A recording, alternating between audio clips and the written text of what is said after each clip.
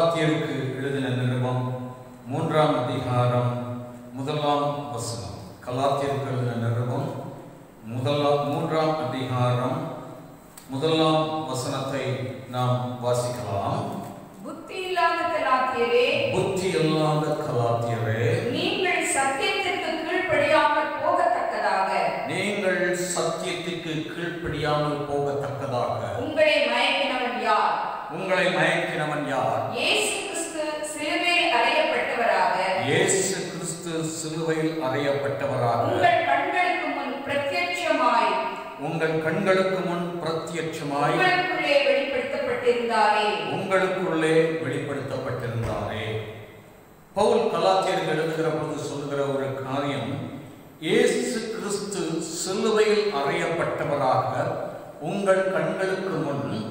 பிரத்யட்சமாய் உங்களுக்குள்ளே வெளிப்படுத்தப்பட்டிருந்தாரே good Friday அல்லது பெரிய வழி என்று சொல்கிற பொழுது எல்லாருக்கும் ஞாபகம் வருகிறது ஏழு வார்த்தைகள் அது ஒரு பாரம்பரியமாக நம்முடைய சபைகளிலே அது உருவாகிவிட்டது ஏழு வார்த்தைகளை ஏழு பேர் பிரசங்கம் பண்ணுகிற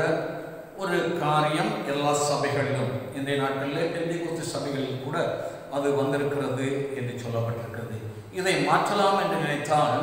சபை கமிட்டி அதற்கு ஒத்துக்கொள்ளா ஒத்துக்கொள்ளார் ஏனென்றால் அதுதான் அவர்களுக்கு தங்களை மேன்மையாக காட்டிக்கொள்வதற்கும் தங்கள் பெருமைகளை வெளிப்படுத்துவதற்கும்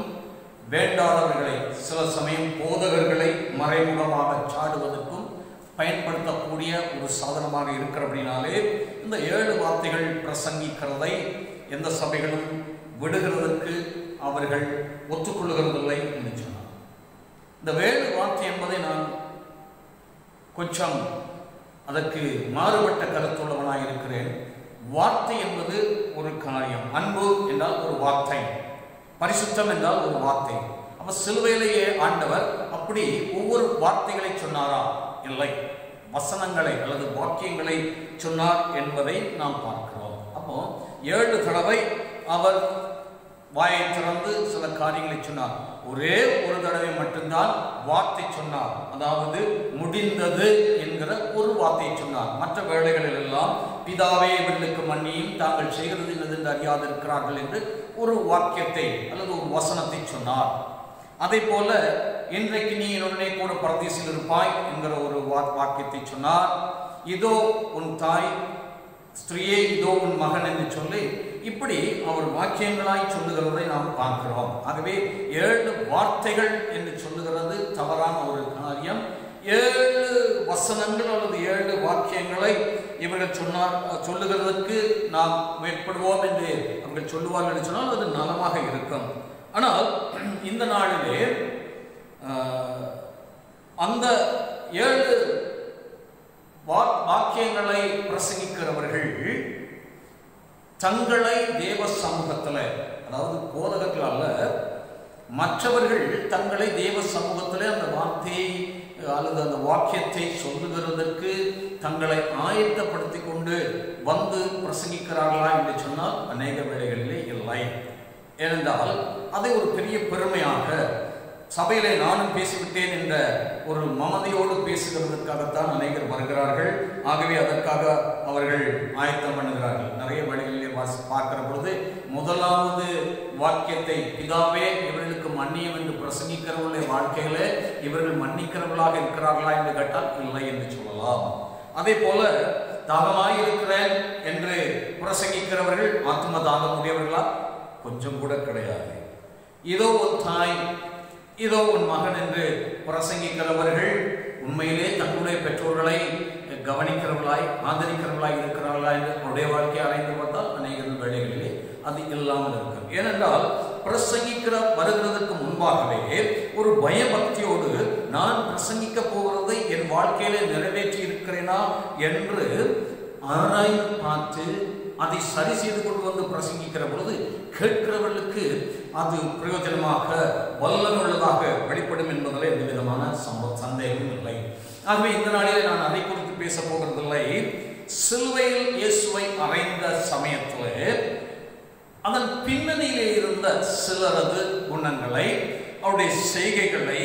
சற்றே ஆராய்ந்து பார்த்தால் அது நம்முடைய ஆவிக்குரிய வாழ்க்கையிலே அது பிரயோஜனமாக இருக்கும் என்று நான் எண்ணினபடினாலே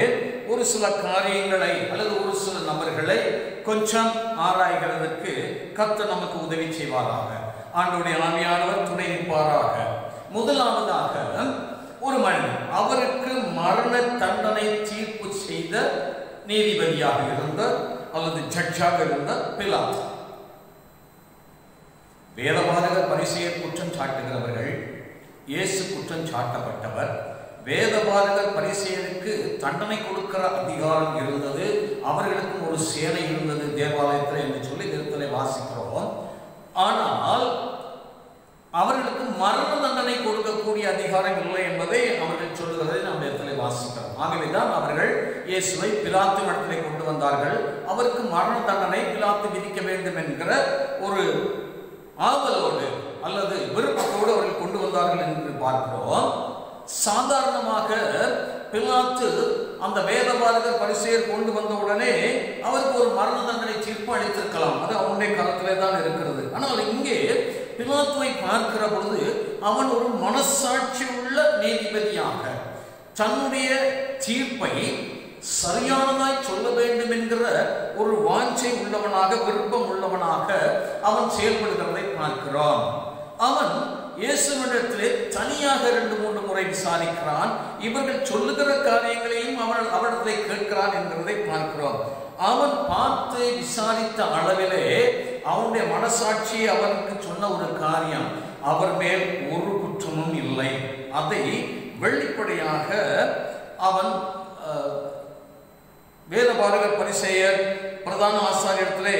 சொல்லுகிறான் என்பதை நாம் வேதத்திலிருந்து பார்க்கிறோம் யோகா எழுதின சுவிசேஷம் பத்தொன்பதாம் அதிகாரத்தின் பனிரெண்டாம் வசனத்தை வாசிக்கிற பொழுது அங்கே எழுதப்பட்டிருக்கிறது அது முதல் பின்னாத்து அவரை விடுதலை பண்ண வகை தேடினான் என்று எழுதப்பட்டிருக்கிறது பின்னாத்து இயேசுவை எப்படியாவது விடுதலை பண்ணிவிட வேண்டும் என்கிற ஒரு முயற்சியை செய்கிறதை பார்க்கிறோம் ஏனென்றால் அவனுடைய மனசாட்சிக்கு அவனுக்கு தெரிந்தவரை அவர் குற்றம் இல்லாதவர் என்று அவன் புரிந்து கொள்ளுகிறான் அது மட்டுமல்ல பதினோராம் பத்தொன்பதாம் அதிகாரத்தின் பதினோராம் வசனத்தை வாசிக்கிற பொழுது ஆண்டவர் இயேசுவிடத்திலே அவன் கேட்கிற பொழுது இயேசு சொல்லுகிறார்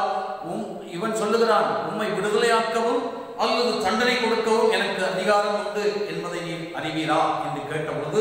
ஆண்டவர் சொல்லுகிறார் பரத்திலிருந்து உமக்கு கொடுக்கப்பட இருந்தால் என்ன உமக்கு ஒரு அதிகாரமும் இராது அப்ப தேவன் உமக்கு அதிகாரம் கொடுக்காவிட்டால் என் மேலே உமக்கு ஒரு அதிகாரம் இராது அதனால ஆனபடியினாலே என்னை உம்மிடத்தில் ஒப்பு கொடுத்தவனுக்கு அதிக பாவம் உண்டு என்றார்கள் என்னை இப்படி குற்றவாளி குண்டிலே கொண்டு வந்து நிறுத்தின பிரதான ஆசாரியருக்கும் வேதபாரத பரிசுகளுக்கும் அதிக பாவம் உண்டு என்று ஆண்டவர் சொன்ன உடனே தான் அவன் அது முதல் பிலாத்து அவரை விடுதலை பண்ண வகை தேடினான் என்று எழுதப்பட்டிருக்கிறது அப்பா பிலாத்து கிறிஸ்தவன் அல்ல கிறிஸ்துவை நன்றாக அறிந்தவனும் இல்லை பத்தொன்பதாம் அதிகாரத்தின் எட்டாம் வசனத்தை வாசிக்கிற பொழுது பிலாத்து இந்த வார்த்தைகளை கேட்ட பொழுது அதிகமாய் பயந்தான் என்று எழுதப்பட்டிருக்கிறது என்னன்னா பிரதான ஆசாரிய வேத பாரதி சொல்லுகிறார்கள் எங்களுக்கு ஒரு நியாய பிரமாணம் உண்டு இவன் தன்னை தேவனுடைய குமாரன் என்று சொல்லி தேவ தூஷணம் சொன்னபடினாலே இவன் அந்த நியாய பிரமாணத்தின்படி சாக வேண்டும் என்று சொன்ன உடனே அவன் அதிகமாய் பயந்தான் ஏனென்றால் இவர் தேவனுடைய குமாரன் இவர்கள் சொல்லுகிறார்களே அவன் இப்படி சொன்னான் என்று சொல்லுகிறார்களே என்று சொல்லி ஒரு தேவனுடைய குமாரனாக அல்லது தேவனுக்கு வந்தவராக இருக்கிற அவருக்கு தண்டனை கொடுத்தார் இயேசு சொன்னால் என்னை ஒப்பு கொடுத்தவனுக்கு அதிக பாவம் உண்டு என்று சொன்னால் நான் இவருக்கு தண்டனை கொடுத்தால் எனக்கு அதிகமான பாவம் வருமே என்று பயந்ததினாலே அவருக்கு அவன் தீங்கிழைக்க விரும்பவில்லை ஆண்டவரை அறியாத கிறிஸ்தவனாய் இராத நியாயாசனத்தில் உட்கார்ந்திருந்த பிலாத்து இப்படி ஒரு பயத்தோடு குற்றமில்லாதவனுக்கு தண்டனை கொடுத்துவிடக்கூடாது என்கிற ஒரு நியாயமான இனத்தோடு செயல்படுகிறான் ஆனால் ஆண்டவரை நன்றாய் அறிந்திருக்கிற நாம் எப்படி செயல்படுகிறோம் என்று இந்த வழியிலே கொஞ்சம் நம்மை ஆராய்ந்து கொண்டால் அது நல்லமாய் இருக்கும் என்று சொல்லி நான் நினைக்கிறேன் மத்திய எழுதுகிற சுவிசேஷத்தில் இருபத்தி ஏழாம் அதிகாரம் மத்திய எழுதுகிற சுவிசேஷம் இருபத்தி ஏழாம் அதிகாரம் ஏழாம் வசனத்தில் அங்கே சொல்லப்பட்டிருக்கிற ஒரு காரியம் இருபத்தி ஏழு ஏழிலே ஆலோசனை பண்ணின பின்பு அந்நியரை அடக்கம் பண்ணுவதற்கு குயவனுடைய நிலத்தை அதனாலே கொண்டார்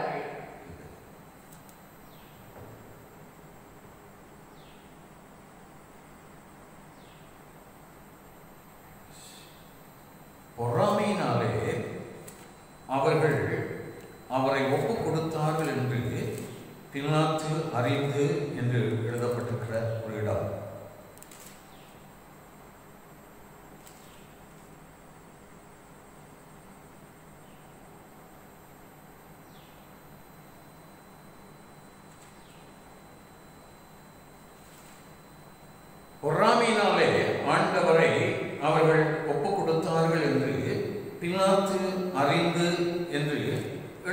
என்ற ஒரு காரியத்தை நாம் வேதத்திலே வாசிக்கிறோம் அது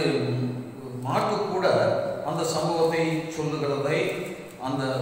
வேதத்திலே வாசிக்கிறோம்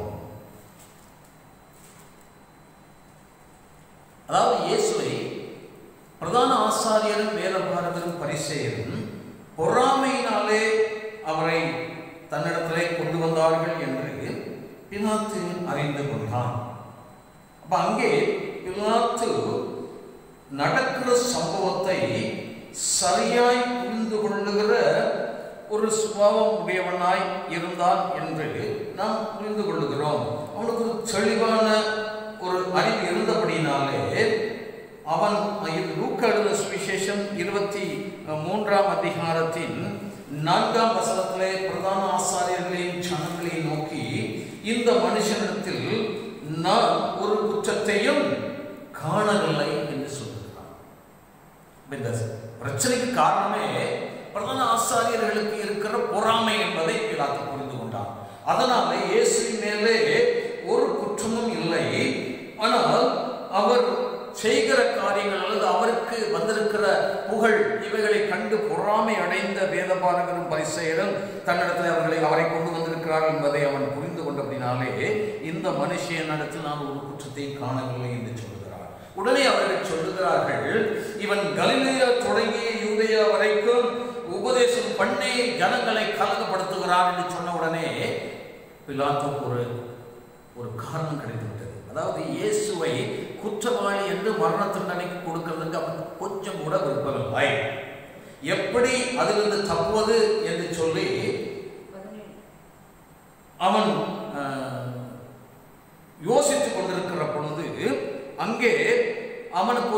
பாயிண்ட் கிடைக்கிறது ஏசு கலில் கலிலேயாவில் என்று உடனே அவன் விசாரிக்கிறான் இவன் கலிலேயா நாசரேத்பூரில் இருந்து வந்தவர் என்று சொல்லி அவருக்கு நசரையன் என்ற பெயர் இருந்தபடினாலே எல்லாரும் அவர் கலிலேயன் என்று சொல்லி நினைத்து கொண்டிருந்தார்கள் ஆகவே அவன் இவன் வந்து கலிலேய நாட்டை சேர்ந்தவன் என்று சொன்ன உடனே கலிலேய நாடு ஏதோதனுடைய ஆளுகைக்கு உட்பட்டது என்னுடைய ஆளுகையின் இல்லை என்று அவன் சொல்லி அந்த நாட்களிலே அந்த பண்டிகை நாட்களிலே ஏனென்றால் பஸ்கா பண்டிகை நாட்களிலே கலிலேயாவில் இருந்து எருசலேமுக்கு வந்திருக்கிறான் அந்த காரியத்தை அறிந்து கொண்ட பிலாத்து இவர் என்னுடைய ஆளுகைக்கு உட்பட்டவர் அல்ல என்னுடைய நீதி வரம்புக்கு உட்பட்டவர் அல்ல இவர் ஏரோதுவின் வரம்புக்கு உட்பட்டவர் ஆகவே நான் அவரிடத்திலே போங்கள் என்று சொல்லி பிரதான ஆசாரியனையும் ஜனங்களையும் இயேசுவையும் வினா ஏதோதன் இடத்திலே அனுப்பி வைத்தான் என்று அங்கே எழுதப்பட்டிருக்கிறது இருபத்தி மூன்றாம் அதிகாரத்தில் லூக்காதன் சுவிசேஷம் இருபத்தி மூன்றாம் அதிகாரத்தில் ஏழாம் வசத்தில் அது சொல்லப்பட்டிருக்கிறது அவர் ஏரோதின் அதிகாரத்திற்குள்ளானவர் என்று அறிந்து அந்நாட்களில் எருசலேமிலே வந்திருந்த ஏரோது இடத்துக்கு அவரை அனுப்பினார் ஏரோதும் இயேசுவை குறித்து நிறைய காரியங்களை கேள்விப்பட்டிருந்தார் அவரால் செய்யப்படும் அடையாளத்தை பார்க்க வேண்டும் என்று மிகவும் விருப்பத்தோடு இருந்தான் அது மட்டுமல்ல அவரை பார்க்க வேண்டும் என்று வெகு நாளாய் ஆசை கொண்டிருந்தான் அந்தபடி அதனாலே பிலாத்து இயேசுவை அவரிடத்தை அனுப்பி வைத்த பொழுது அவனுக்கு மிகவும் சந்தோஷம் ஆகவே அவனத்தில் இருந்த சந்தேகங்கள் அவனத்தில் கேட்க வேண்டிய எல்லா கேள்வி கேள்விகளையும் அந்த இருபத்தி மூன்றாம் அதிகாரத்தின் ஒன்பதாம் வசத்தில் சொல்லப்படுகிறது அநேக காரியங்களை குறித்து அவன் அவரிடத்தில் வினவினான் கேட்டான் ஆனால் அவர் ஒரு மறு மாறுத்திரமும் ஒரு மறுமொழியும் அவனுக்கு சொல்லவில்லை பிரதான ஆசாரியிடம் ஜனங்கள் மேல பாருங்களும் அவரை பிடிவாதமாய் குற்றம் சாட்டி கொண்டிருந்தார்கள் அப்பொழுது இயேசு தான் கேட்ட ஒரு கேள்விகளுக்கும் பதில் சொல்லாதபடினாலே தனக்கு பதில் சொல்லி தன்னை நியாயத்தை சொல்லாதபடினாலே இயேசும் அவர்களோடு சேர்ந்து நிந்தித்து பரியாசம் பண்ணினான் என்று எழுதப்பட்டிருக்கிறது அவனும் ஒரு குற்றத்தை காணவில்லை ஆனால் ஏரோது அந்த அவரை குற்றவாளி என்று காணாமல் மற்றவர்களெல்லாம் சேர்ந்ததாலே அவங்களோடு சேர்ந்து பரியாசம் பண்ணி கேள்வி பண்ணினான் ஆனால் அதில் எழுதப்பட்டிருக்கிறது பதினோராம் வசனத்தில் இருபத்தி மூன்றாம் அதிகாரத்தின் பதினோராம் வசனத்தை வாசிக்கிற பொழுது அப்பொழுது ஏரோது தன் போர் சேவகரோடு கூட அவரை நிந்தித்து பரியாசம் பண்ணி மினுக்கான வஸ்திரத்தை அவருக்கு உடுத்தி அவரை திரும்ப இடத்தில் அனுப்பினான் பிலாத்து தப்பித்துக் கொள்ளுகிறதற்காக இடத்தில் அனுப்பினான் ஆனால் ஏரோது கூட அவரை மரண தண்டனைக்குள்ளாக்குகிற ஒரு காரியத்தையும் அறியாதபடினாலே திரும்பவும் அவரை இடத்தில் அனுப்பிவிட்டான் தன்னுடைய அதிகாரத்துக்கு உட்பட்டவர்தான் ஆனால் இதில் நான் தலையிட விரும்பவில்லை பிலாத்து நீரே பார்த்துக் கொள்ளும் திருப்பி அனுப்பினார் திருப்பி அனுப்புகிற பொழுது அவருக்கு ஒரு மினுக்கான பத்திரத்தை அவன் உடுத்தி அனுப்பினான் என்று எழுதப்பட்டிருக்கிறது மினுக்கான வஸ்திரம் என்று சொல்லுகிற பொழுது யாக்கோபு சொல்லுகிறான் இரண்டாம் அதிகாரம் யாக்கோபு இரண்டாம் அதிகாரம் மூன்றாம் வசனத்தை மாசிக்கிற பொழுது யாக்கோபு ரெண்டு மூன்றை மாசிக்கிற பொழுது ஒரு உங்களுடைய ஆலயத்தில் ஒரு மினுக்குள்ள வஸ்திரம் தரித்தவனும் ஒரு கந்தை தைத்தவனும் வருகிற பொழுது நீங்கள் என்ன செய்கிறீர்கள் என்று சொன்னால் கந்தை ஆடை அணிந்தவனை கீழே உட்கார் என்னுடைய பாதப்படியிலே உட்கார் என்று சொல்லுகிறீர்கள் மினுக்குள்ள வஸ்திரம் தரித்தவனை பார்த்து நீர் இந்த மேன்மையான இடத்திலே உட்காரம் இந்த உயர்ந்த ஸ்தானத்திலே உட்காரம் என்று அவனுக்கு ஒரு மரியாதை கொடுக்கிறீர்கள் என்று யாக்கோபு சொல்லுகிறான் அதாவது மினுக்குள்ள வஸ்திரம் ஒரு மனிதனுக்கு மரியாதை கொடுக்கிறது சமூகத்திலே ஒரு அந்தஸ்தை கொடுக்கிறது என்பதை வேதம் தெளிவாய் சொல்லுகிறது ஏதோதும் தன்னிடத்தில் இருந்த மினுக்குள்ள ஒரு வஸ்திரத்தை தான் அவருக்கு உடுத்தி இருக்க வேண்டும் லூக்கா எழுதின சுவிசேஷத்தின் ஏழாம் அதிகாரத்தின் இருபத்தி ஐந்தாம் வசனத்தை வாசிக்கிற பொழுது லூக்கா ஏழு இருபத்தி ஐந்திலே நாம் வாசிக்கிறோம் என்றால் எதை பார்க்க போனீர்கள் மெல்லிய வஸ்திரம் தரித்த மனுஷனையோ அலங்கார வஸ்திரம் தரித்து செல்வமாய் வாழ்கிறவர்கள் அரசர் மாளிகைகளிலே இருக்கிறார்கள் அலங்கார வஸ்திரம் தரித்து செல்வமாய் வாழுகிறவர்கள் அரசர் அரசர் மாளிகைகளிலே இருக்கிறார்கள் அப்படின்னு சொன்னால் மினுக்குள்ள அல்லது அலங்கார வஸ்திரம் தரித்துக் கொள்ளுகிறவர்கள் அரச குடும்பத்திலே அரச மாளிகையிலே இருக்கிறார்கள் நான் என்ன சொல்ல வருகிறேன் என்று சொன்னால் ஏரோது அவனை அறியாமலேயே அவருக்கு ஒரு ராஜ வஸ்திரத்தை உடுத்தி பினாத்துடத்தில் திருப்பி அனுப்புகிற பொழுது இவர் யூதருக்கு ராஜா என்பதை மறைமுகமாக ஒப்புக்கொள்கிறான் என்று புரிந்து கொள்ளலாம் லுக்கா இருபத்தி மூன்றாம் அதிகாரத்தில் பனிரெண்டாம் வசத்தை வாசிக்கிற பொழுது முன்னே ஒருவருக்கொருவர் பகைவர்களாய் இருந்த பினாத்துவும் ஏரோதும் அன்றைய தினம் சிநேகிதரானார்கள் லாத்து செய்தது இயேசுவை தண்டனைக்கு உட்படுத்துவதற்கு விருப்பம் இல்லாதவனாய் அந்த பழியை ஏரோது மேலே போட்டுவிடலாம் என்று அனுப்பினான் ஆனால் ஏரோது நினைக்கிறான் ஐயோ என்னுடைய அதிகாரத்துக்கு உட்பட்ட இயேசுவை தான் நியாயத்திற்கு செய்யாமல் என்னிடத்திலே அனுப்பி எனக்கு ஒரு மரியாதை கொடுத்தான் என்று என்னென்ன என்னென்னபடினாலே அந்த மரியாதைக்கு திரும்ப மரியாதை செலுத்தும்படியாய் ஐயா நீங்க என்னிடத்தில் அனுப்பினது கரெக்டு ஆனாலும் நீங்களே அவருக்கு நியாய தீர்ப்பு கொடுங்கள் என்று திருப்பி அனுப்பினபடினாலே அதுவரைக்கும் பகைவர்களாக இருந்த ஏழோதும் பிலாத்தும் அன்றைய தினம் சிநேகிதர் ஆவார்கள் பாருங்க இயேசு கிறிஸ்து எங்க போனாலும் அங்கே ஒரு ஒப்புரவாக்குதலை உண்டாக்குகிறார் இயேசு போன இடத்திலெல்லாம் பகையை அவர் சிறுமினாலே கொன்றார் என்று எழுதப்பட்டபடி அங்கே முன்னே பகைவர்களாக இருந்த ஏரோதும் பிலாத்தும் அன்றைய தினமே சிநேகிதர்கள் ஆனார்கள் என்று நாம் பார்க்கிறோம் அது மட்டுமல்ல இயேசுவை விடுதலை பண்ணுகிறதற்காக பிலாத்து பல முயற்சிகளை எடுத்தான் என்று நான் உங்களுக்கு சொன்னேன் யோகா நடந்த சுவிசேஷம் பத்தொன்பதாம் அதிகாரத்தில் முதலாம் வசனத்தை வாசிக்கிற பொழுது பிலாத்து இயேசுவை பிடித்து வாரினால் அடிவித்தான் என்று எழுதப்பட்டிருக்கிறது அவரை விடுதலை பண்ண நினைத்த பிலாத்து ஏன் அவரை வாரினால் அடிப்பிக்க வேண்டும் என்றால் அதிலும் ஒரு உள்நோக்கம் பிலாத்து வைத்திருந்தான் என்பதை பின்னாலே வாசிக்கிற பொழுது நாம் புரிந்து கொள்ள முடிகிறது அவருக்கு ஒரு சோப்பான அங்கே உடுத்தி தலையிலே முன்மூடி சுட்டி இரத்த காயங்களோடு அவரை வெளியிலே கொண்டு வந்து நிறுத்தி இதோ அந்த மனுஷன் என்று அவர்களிடத்திலே சொல்கிறான் அவனுடைய நோக்கம் என்ன எல்லா மனிதர்களிடத்திலும் ஒரு மனிதாபிமானம் உண்டு இறக்க சுபாவம் உண்டு ஆகவே இயேசுவின் பரிதாப கோலத்தை அல்லது இரத்த காயங்களோடு நிற்கிற இயேசுவை பார்க்கிற பொழுது இந்த ஜனங்களுக்கு ஒரு பரிதாப உணர்ச்சி உண்டு பண் உண்டாகி அவர்கள் பிலாத்து மட்டத்திலே பரவாயில்லை நாங்கள் இந்த கேஸை வித்ரா பண்ணுகிறோம் அவரை விடுதலை பண்ணுங்கள் என்று சொல்லுவார்கள் என்ற ஒரு எண்ணத்தோடு வெளியே கொண்டு வந்த பொழுது அவனுடைய கோலத்தை பார்த்து பரிதாபப்படுகிறவர்கள் படுவார்கள் என்று நினைத்த அவனுடைய எண்ணம் அங்கே தவறாய் போனது அவன் நினைத்தான் இவர்களெல்லாம் ஆன்மீக தலைவர்கள் அதனால ஸ்பிரிச்சுவல் லீடர்ஸ் இவங்களுக்கெல்லாம் இறப்பு சுபாவம் இருக்கும் இயேசுவை அல்லது தேவனை ஏகோவா தேவனை வணங்குகிற இவர்களுக்கு அந்த தேவனுடைய சட்டத்திட்டத்தின்படி இறக்கம் இருக்கும் என்று அவன் நினைத்தது தவறாக போய்விட்டது அவர்கள் இன்னும் அதிகமாய் அவனை சிலுவையில் அறையும் சிலுவையில் அறையும் என்று சப்தமிட்டார்கள் இந்த காலத்தில் அப்படிதான் ஆமைக்குரிய ரீதியிலே இருக்கிறவர்களுக்கு பரிதாப உணர்ச்சினாலே அவர் உதவி செய்கிறது இல்லை நாம் நன்மை செய்ய சிருஷ்டிக்கப்பட்டிருக்கிறோம் என்று வேதம் சொல்லுகிறது நன்மை செய்கிறவன் கத்தரால் உண்டாயிருக்கிறான் என்று சொல்லுகிறது ஏழைக்கு இறங்குகிறவன் கத்தருக்கு கடன் கொடுக்கிறான் என்று வேதம் சொல்லுகிறது இந்த வசனங்களுக்கு கீழ்ப்படிந்து யாரும் காரியங்களை செய்கிறதில்லை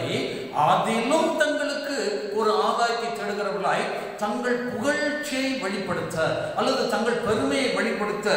உதவி செய்கிறவர்களாய் மாறி போனார்கள் இந்த நாட்களிலே இந்த கொரோனாவினாலே பாதிக்கப்பட்டவர்கள் எல்லாரும் வீடுகளிலே இருக்க வேண்டும் என்ற ஊரடங்கு உத்தரவு இருக்கிறபடினாலே கூலி வேலைக்கு போகிறவர்கள் தொழிற்சாலையில் வேலை செய்கிறவர்களுக்கு வேலை இல்லை அவர்களுக்கு சம்பளமும் இல்லை ஆகவே அன்றாட வாழ்க்கை நடந்துகிறதற்கு கஷ்டப்படுகிறார்கள் நிறைய ஊழியர்கள் கூட சின்ன சின்ன சபைகளை வைத்திருக்கிறவர்களுக்கும் வருமானம் இல்லாதபடிக்கு மிக கடினமான கஷ்டமான நிலைமையை கடந்து கொண்டிருக்கிற பொழுது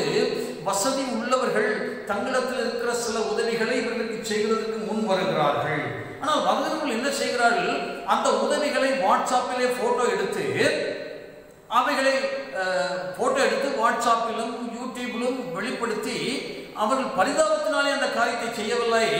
தங்களுடைய நாங்கள் இப்படி செய்திருக்கிறோம் என்று தங்களுடைய பெருமையை நிலைநாட்டுகிறதற்காக செய்கிறார்கள் என்று நாம் புரிந்து கொள்ள முடிகிறது ஆண்டவர் சொன்னார் இடதுகைக்கு வலதுகை கொடுக்கிறது இடதுகைக்கு தெரியக்கூடாது என்று சொன்னார் நீ தானதமம் பண்ணும்போது தானே தப்பட்டைகளை ஊதுவியாதே என்று சொன்னார் ஆனால் இப்போ என்னன்னா செல்ஃபி எடுத்து அல்லது போட்டோ எடுத்து அதை வெளிப்படுத்துகிறவர்களாய் இருக்கிறதை பார்க்கிறோம் அதனாலே இவர்கள் பரிதாபத்தினாலே காரியங்கள் செய்கிறதில்லை முன்வரப்படுகிறது இந்த கஜா புயல் வந்தபோது புயல்கள் வந்தபோது சுனாமி வந்த போதெல்லாம் உதவி செய்தது போது நீங்கள் பார்த்துருப்பீங்க பெரிய பெரிய ஃபோட்டோக்கள் எடுத்து பெரிய பெரிய பேனர்கள் அடித்து அதை விளம்பரப்படுத்தினாங்க தங்கள் விளம்பரத்துக்காக உதவி செய்கிறவர்கள் தங்கள் பலனை இந்த உலகத்திலே அடைந்து தீர்ந்தது அவர்கள் கத்தடத்திலிருந்து எதையும் பெற்றுக்கொள்ள முடியாது என்பதை புரிந்து கொள்ள வேண்டும் எல்லா முயற்சிகளும் பிலாத்து பிலாத்துவிடத்தை தோல்வி அடைந்த பொழுது பிலாத்து கடைசியாக ஒரு முயற்சி செய்கிறான் யோவான் பத்தொன்பதாம் அதிகாரம் பனிரெண்டாம்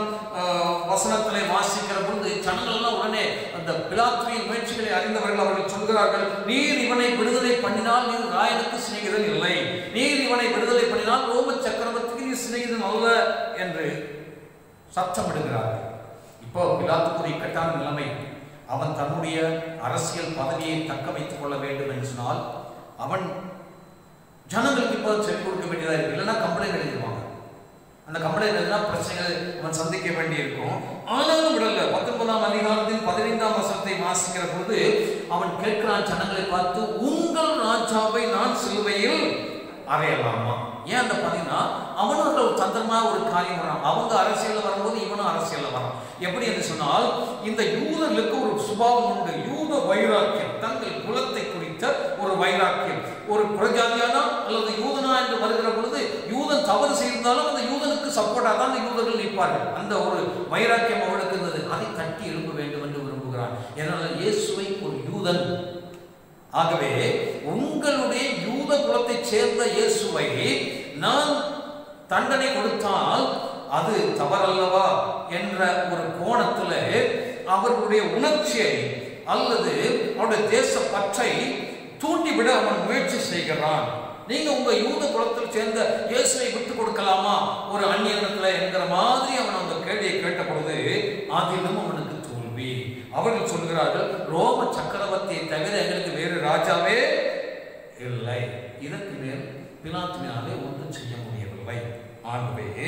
தன் பதவிக்கு ஆபத்து வரக்கூடாது என்பதற்காக அவன் அவரை தீர்ப்பு செய்கிறதற்கு தீர்மானிக்கிறான் மூன்றாவதாக அதாவது ஏரோது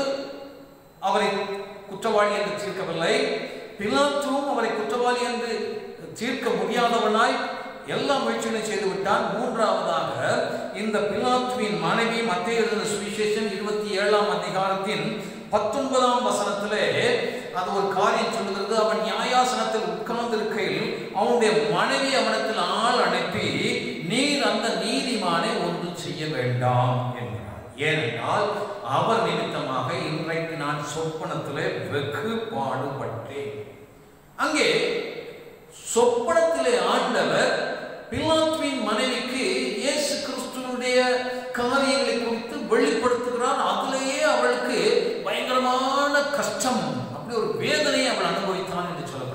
சொப்பனத்தில் வேதனை அனுபவித்த உடனேயே அவள் புரிந்து கொண்டால் இயேசு கிறிஸ்து ஒரு நீதிமான் அவருக்கு ஒரு தீங்கும் செய்யக்கூடாது அவரை வேதனைப்படுத்தக்கூடாது என்பதற்காக உடனடியாக தன்னுடைய கணவனுக்கு ஒரு மெசேஜ் அனுப்புகிறாள் அவரை ஒன்று செய்ய வேண்டாம் அவரை விடுதலை பண்ண அப்போ சொப்பனத்தில் கற்றுக்கொண்ட காரியங்களிலேயே பிலாத்வின் மனைவிக்கு ஒரு உணர்ச்சி வருகிறது என்று சொன்னால் ஒரு உணர்வு வருகிறது என்று சொன்னால் நேரடியாக காரியங்களை சந்திக்கிற நமக்கு எவ்வளவு உணர்வுகள் உண்டாயிருக்க வேண்டும் வேறு சொல்லுகிறது ஆமோஸ் ஆறாம் அதிகாரத்தின் முதலாம் வசனத்திலே சீயோனிலே நிர்விசாரமாய் இருக்கிறவர்களுக்கு ஐயோ ஐயோ என்றால் ஆபத்து வரும் சீயோன் என்று சொல்கிறது தேவனுடைய நகரம் அப்ப தேவனுடைய நகரம் அல்லது தேவன் ஆண்டுகிற இடத்துல இருக்கிறவர்கள் நிர்விசாரமாய் இருந்தால் அவர்களுக்கு ஐயோ வேதம் சொல்லுகிறது நிர்விசாரமும் சாங்கோ தான் சோதோமி அக்கிரமம் அப்ப சோதம் குமரா அழிவுக்கு காரணம் அவர்கள் பரிசுத்தத்தை குறித்து தேவனை குறித்து அக்கறை இல்லாமல் இருந்தது அது மட்டுமல்ல தங்கள் சொகுசான வாழ்க்கைக்காக என்ன வேண்டுமானாலும் செய்யலாம் என்று அவர்கள் நிர்விசாரமாய் வாழ்ந்தபடினாலே வானத்திலிருந்து அக்கினியின் கந்தகம் எரிந்து அந்த பட்டணம் அழிந்து போயிற்று இன்றைக்கு இந்த நிர்விசார் தேவ ஜனங்களுடைய நிர்விசாரம் சாங்குவாங்கம் சொகுசான வாழ்க்கை கொஞ்சம் கூட ஆண்டவரை குறித்த அக்கறை இல்லாமல் பரிசுத்தத்தை குறித்த கவலை இல்லாமல் தங்கள் மனம் போல வாழ்கிறபடினாலே அன்றைக்கு வானத்திலிருந்து அக்கினி இறங்கினது போல இன்றைக்கு ஜனங்கள் எல்லாம் கொத்து கொத்தாக மரணத்துக்கு ஒப்புவிக்கப்படத்தக்கதாக கொரோனா என்ற ஒரு வைரஸை கத்தர் அனுப்பியிருக்கிறான் என்பதை புரிந்து கொள்ள வேண்டும் அதே ஆமோஸ் ஆறாம் அதிகாரத்தின் ஐந்தாம் வசத்தை வாசிக்கிற பொழுது அன்று அந்த ஜனங்கள் தேவ ஜனங்கள் எப்படி வாழ்கிறார்கள் என்று சொல்லி அவன் சொல்கிறான் தம்புரை வாசித்து பாடி இன்னைக்கு திரும்பி போட்டா கிட்டாரை வாசித்து பாடி தாவீதை இன்ஸ்ட்ருமெண்டை தங்களுக்கு உண்டு பண்ணி பெரிய பாத்திரங்களில் மதுபானத்தை குடித்து இந்த பாத்திரம் பெரிய பெரிய விருந்துகளையும் பந்திகளையும் ஆயத்தம் பண்ணி சிறந்த பரிமள தைலங்களை கொள்கிறார் வெளியில இருந்து எல்லாம் அடிச்சு வாசனை திரவியங்களை போட்டுக்கொண்டு வாழ்கிறார்கள் அது தப்பு நான் சொல்லல நீ வாழ் ஆனால் அது கர்த்தவசனம் ஆனால்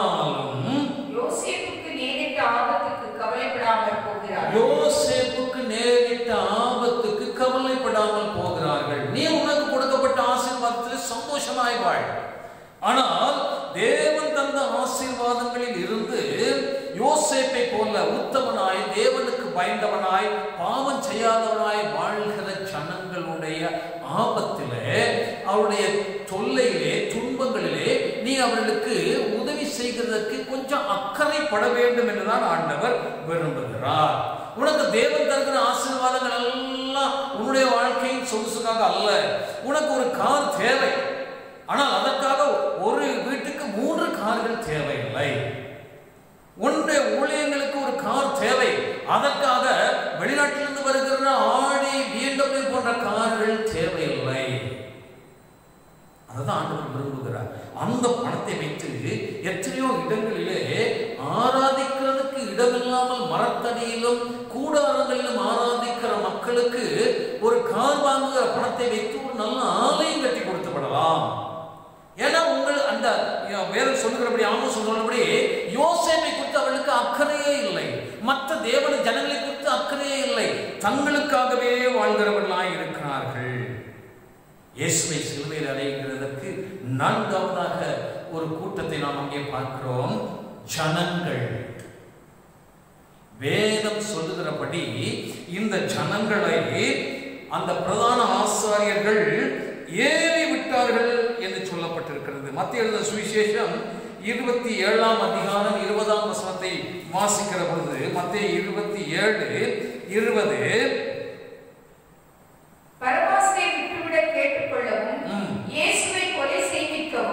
பிரதான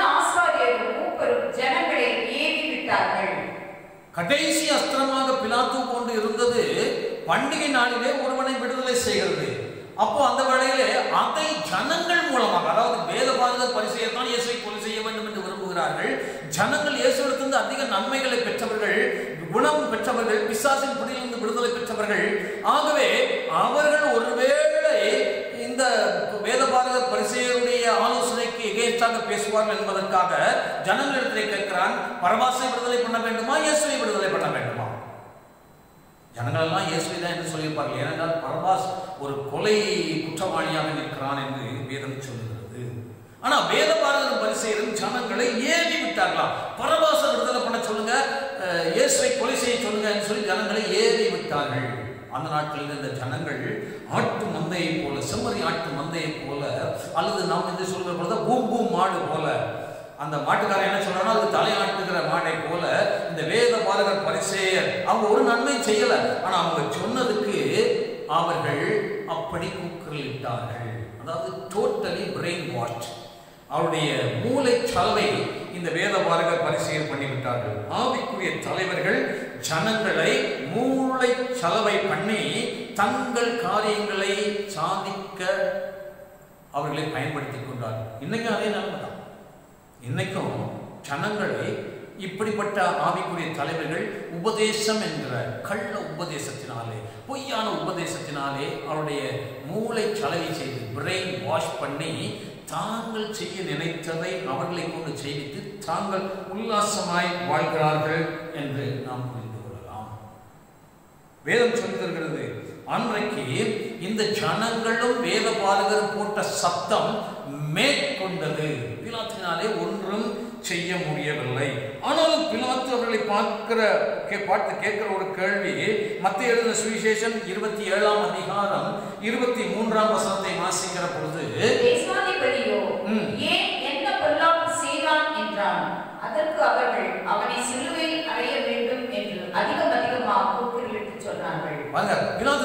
அதிகம் ஐயா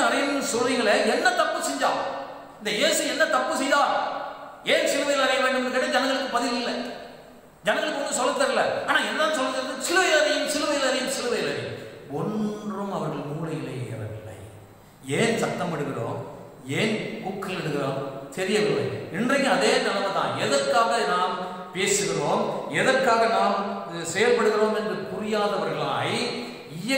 விற்கிறவர்களாலே இயக்கப்படுகிற பொம்மைகளைப் போல இவர்கள் மாறிவிட்டார்கள் என்பதை இந்த நாளிலே நாம் அந்த நாட்களில் கொஞ்சம் கூட்டம் இயேசுவை கொலை செய்யக்கூடாது என்று விரும்பின ஒரு கூட்டம் இருந்திருக்கும் இருந்தார்கள் ஆனால் அவர்கள் வாயை திறக்கவில்லை அதுதான் அங்கே ஒரு காரியம் அவர்களும் சத்தம் போட ஆரம்பித்திருப்பாங்கன்னு சொன்னால் பினாத்துவுக்கு கொஞ்சம் உற்சாகம் கிடைச்சிருக்கும் ஏன் நீங்களும் சத்தம் போடாமல் நீங்க என்ன சொல்றீங்கன்னு அவர்களுடைய கேட்டு அதை வைத்து இயேசுவை விடுதலை செய்திருக்க முடியும் ஆனால்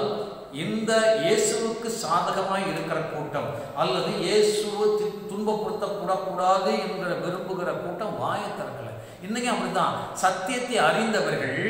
சத்தியத்துக்காக நிற்க வேண்டும் என்று விரும்புகிறவர்கள் தங்கள் வாயை திறக்கிறதே இல்லை யார் கேட்டுக்கிட்டு விட்டு போனால் நமக்கு என்ன என்கிற ஒரு நிலைமையிலே அவர்கள் இருக்கிறதுனால தான் இன்றைக்கும் கிறிஸ்தவர்களுக்கு விரோதமான சக்திகள் எழும்பி கிறிஸ்தவ ஊழியர்களையும் மிஷனரிகளையும் கிறிஸ்தவ சபைகளையும் அடித்து துன்புறுத்துகிற ஒரு நிலைமையிலே நம்முடைய நாடு போகிறதுக்கு காரணமாக இருக்கிறது ஆனால் தேவ சனங்கள் கிறிஸ்துவுக்காக தேவனுக்காக எழும்பி நிற்கிறவர்களாய் சத்தத்தை உயர்த்துகிறவர்களாய் இருந்திருப்பால் இருந்தால் இந்த நிலைமை வந்திருக்கவே முடியாது அதற்கு முக்கியமான காரணம் இந்த ஆவிக்குரிய தலைவர்கள் தான் தங்களுடைய வாழ்க்கைக்காக நூதன உபதேசங்களை புது புது உபதேசங்களை கொண்டு வருகிறார்கள் ஜனங்களை மதி மயக்குகிறார்கள் நீ ஆண்டவரை ஏற்றுக்கொண்டால் உனக்கு ஒரு துன்பம் வராது பொய் நீ ஆண்டவரை ஏற்றுக்கொண்டால் உன் வாழ்க்கையிலே செழிப்பு பொய் நீ ஆண்டவரை ஏற்றுக்கொண்டால் ஆண்டவர் உன்னை உயர்ந்த இடத்துல கொண்டு போவார் அதுவும் போய் வேதம் சொல்கிறது அநேக உபத்திரவங்களின் வழியாய் நாம் பரலோக ராஜ்யத்தில் பிரவேசிக்க வேண்டும் சரியான சத்தியத்தை சொல்ல வேண்டும் தேவனை ஏற்றுக்கொள்கிறவர்களுக்கு உபத்திரம் வரும் தேவனை ஏற்றுக்கொண்டவர்களுக்கு வியாதியும் வரும் தேவனை ஏற்றுக்கொண்டவர்களுக்கு பிரச்சனையும் வரும் ஆனால் தேவனை ஏற்றுக்கொண்டதனாலே அவளுக்கு என்ன லாபம் என்று சொன்னால் இவைகள் எல்லாவற்றிலும் நின்று கத்தர் அவர்களை விடுவிப்பார் இதுதான் சத்தியம் அதை விட்டுட்டு ஆண்டவரை விசுவாசித்தால் நீ விசுவாசத்தினாலே எல்லாவற்றையும் பெற்றுக்கொள்ளலாம் நீ விசுவாசத்திலே சொல்லுகிறதெல்லாம் நடக்கும் இதெல்லாம் பொய்யான வார்த்தைகள் ஏனென்றால் இப்படி சொல்லி சொல்லி சொல்லி தங்களுடைய ஆதாயத்தை தேடிக்கொள்ளுகிறார்கள் பொய்யான தீர்க்க தரிசனம் ஆண்டவர் சொல்லுகிறார் இந்த படத்தில் நீ எல்லாருக்கும் ஆண்டவர் சொந்த வீட்டை தருவேன் ஆண்டவர் சொல்லுகிறார் இந்த வருடத்துல எல்லாரும் சொந்த கார் வைத்திருப்பீர்கள் ஆண்டவர் சொல்லுகிறார் இந்த வருஷத்துல பிசினஸ் பண்ணுகிறவர்கள் எல்லாம் பல மடங்கு பருகிறீர்கள் சொல்லவே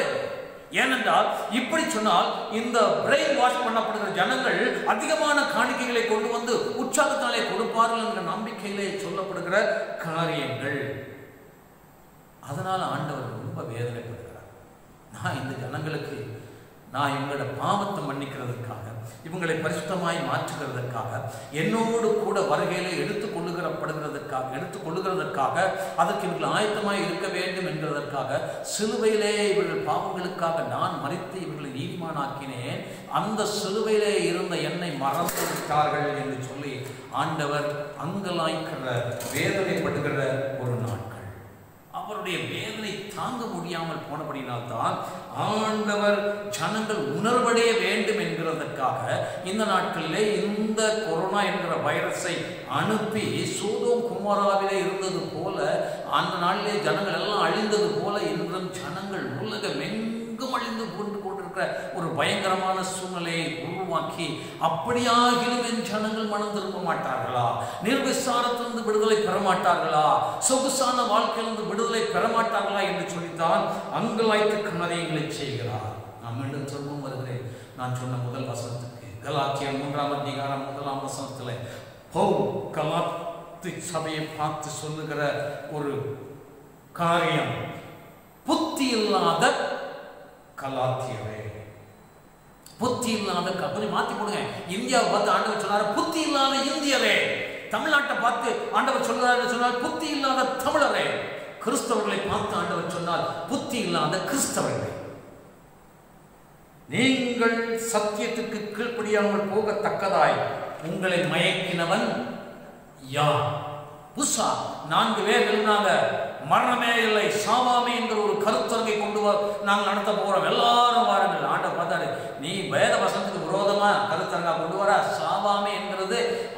மறுரூபமான பின்பு இயேசு வந்த பின்பு தான் நடக்குமே தவிர இப்போ இந்த சரீரம் அழிவுக்குரிய சரீரம் இதில் கண்டிப்பாய் மரணம் வரும் என்பதை ஜனங்கள் அறிந்து கொள்ள வேண்டும் ஜனங்கள் மயக்கப்பட்டு போய்விடக்கூடாது என்பதற்காக நீ அந்த கேம்ப நடத்தக்கூடாது என்கிறதுக்காக எல்லாரும் வீட்டில் இருந்துச்சு சொன்னாங்களே எங்களுக்கு மரணம் இல்லை விசுவாசித்தால் மரணம் இல்லை அந்த நாலு பேர் வரலாமே இன்னைக்கு வந்து என்ன பண்ணலாம் எங்களுக்கு எந்த பாதுகாப்பும் தேவையில்லை ஏன்னா எங்களை மரணம் நெருங்க முடியாது நாங்கள் இந்த கொரோனாவினாலே பாதிக்கப்பட்டவர்களுக்கு உதவி செய்கிறதுக்கு எல்லா சேவையும் செய்ய வருகிறோம் என்று முன் வரட்டுமே வீட்டுக்குள்ள தானே இருக்கிறீங்க ஏன் வெளியே வரல இவங்க சொல்றது ஒன்று செய்யறது ஒன்று ஏனென்றால் தங்களை பெரியவர்களாக காட்டிக் கொள்வதற்கு தங்களை ஆவிக்குரிய சீலத்தில் உன்னதமானவர்கள் தங்கள் தங்களுக்கு தான் தேவன் எல்லாவற்றையும் வெளிப்படுத்தினார் என்று சொல்லுகிறவர்களாய் மாறுகிறதற்கு இவங்க செய்கிறதான ஒரு ஜிமிக் இதை ஜனங்கள் புரிந்து கொள்ள வேண்டும் பிலாத்துவின் காலத்தில் இருந்தது போல இயேசுவை சிலுவையில் இறையிறதுக்கு சிலுவை வேலை பார்க்க வந்து சிலுவையில் அறை அறையும் என்று சத்தம் எடுக்கிற ஒரு மாட்டு மந்தையை போல மாட்டு மந்தையை போல மாறாதபடிக்கு நாம் ஜாக்கிரதையாயிருக்கோம் கலாச்சாரம் பவுல் எழுதுகிற சுவாமி இயேசு கிறிஸ்து சிலுவையில் அறையப்பட்டவராய் உங்கள் கண்களுக்கு முன் பிரத்யட்சமாய் உங்களுக்குள்ளே நீங்கள் அவரை ஏற்றுக்கொண்ட போது வெளிப்படுத்தப்பட்டிருந்தாரே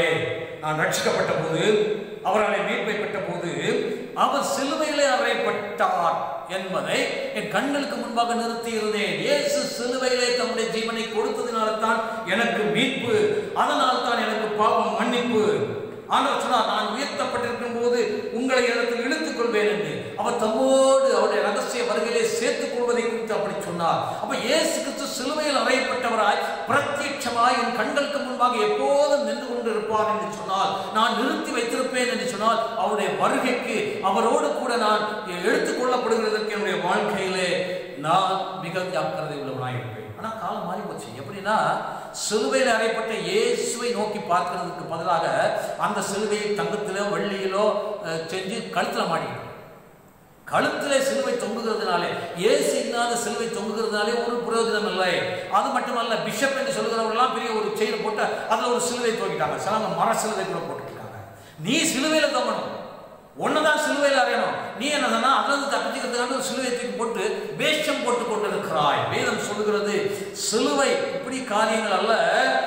ஏசு கிறிஸ்து இருக்கிற சிலுவை எல்லா சிலுவும் அல்ல ஏசு ஏனென்றால் கல்லன் அறையப்பட்ட சிலுவையும் இருந்தது அல்லவா ரெண்டு கல்லர்களை அறைந்திருந்தார்கள் அதே மாதிரி எத்தனையோ குற்றவாளிகள் சிலுவையில் அறையப்பட்டிருந்தார்கள் அதனால சிலுவை மேன்மை அல்ல கிறிஸ்து அறையப்பட்ட அந்த சிலுவையிலே அறையப்பட்டவராய் இருக்கிற காட்சி தான் மேன்மை என்பதை புரிந்து கொள்ள வேண்டும் என்று ஆண்டவர் விரும்புகிறார் எல்லாம் மாறி போச்சு இயேசு கிறிஸ்து சிலுவையிலே தூங்குகிற காட்சியை மறந்து போய் வெறுமனே இயேசு கிறிஸ்து இல்லாத சிலுவைகளை வைத்துக் கொண்டு அதற்கு முன்பாக முழங்கால் படியிருக்கிறவளாய் அதை குறித்து மேன்மை பாராட்டுகிறவளாய் இருக்கிறோம் நம்முடைய மேன்மை பாராட்டு சிலுவை கொடுத்திருக்க வேண்டும் எந்த சிலுவை என்று சொன்னால் எனக்காக ஆண்டவர் சிலுவையிலே அறையப்பட்டாரே அந்த சிலுவை என்கிற ஒரு காரியம் அதைத்தான் பக்தன் அழகாக பாடுகிறான் சிலுவை எல்லாம்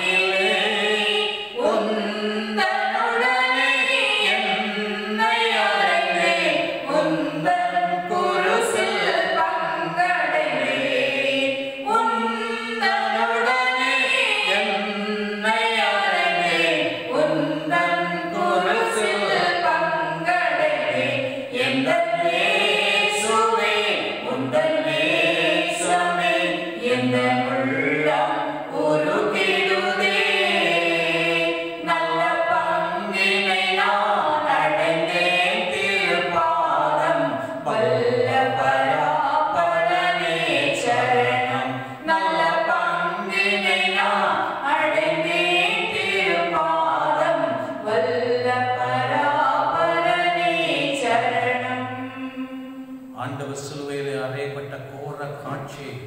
நம்முடைய கண்முன் நிறுத்துகிறது மட்டுமல்ல அந்த சிலுவையிலே உம்மோடு கூட நான் என்னை அறைகளுக்கு ஒப்பு கொடுக்கிறேன் என்று சொல்லி நம்முடைய வாழ்க்கையை அர்ப்பணிக்கிறதையே ஆண்டவர் விரும்புகிறார் என்பதை புரிந்து கொண்டவர்களாய் தேவ சமுதலமை தாண்டி கண்களை மூடுவோம் என்னை